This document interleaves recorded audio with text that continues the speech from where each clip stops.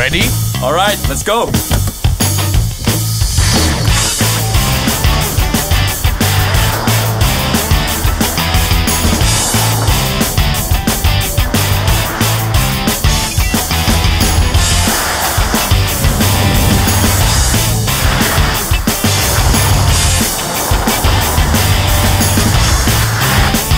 You there yet? Not telling.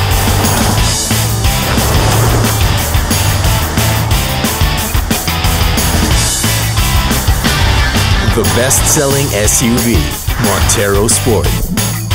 Now with variable vanes that sustain power in any driving condition.